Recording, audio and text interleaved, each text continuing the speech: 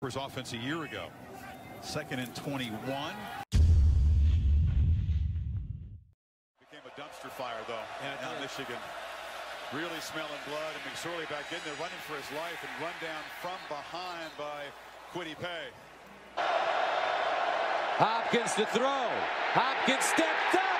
Sack. Lost. Michigan has a football.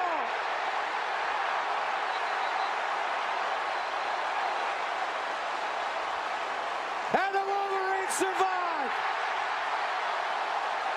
Kwity Paye knocked it loose and grabbed it.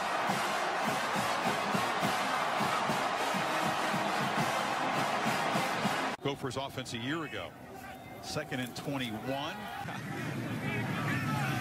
Pacheco up at the 44-yard line. But it's just so interesting when you talk about a guy like Don Brown, who's been in Play action. He's going to be spun around by Kwity Paye, who's starting to impose himself now in this fourth quarter. Kwity Paye working on his pass rushing skills. Watch this move. Boom. Just just uses his hands, goes right by Rushmeyer, the left guard.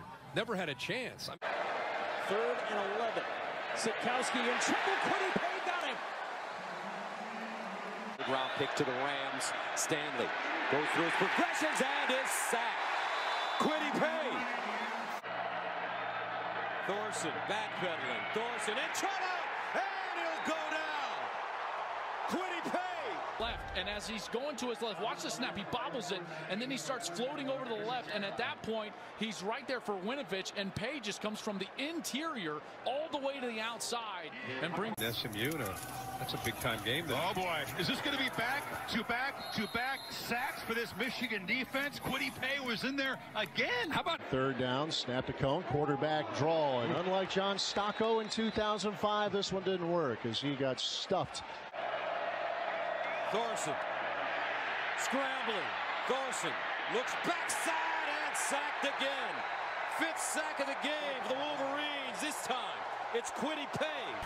I mean, this guy's just been a monster up front. Kwity Paye. He gets through the line. Now he's chasing Thorson. It breaks down. Now the speed. 20 there. Three catches for 75 yards. Stevie Scott fumble, and Michigan has the ball. Second turnover of the game for Indiana. Khaleke Hudson with the recovery.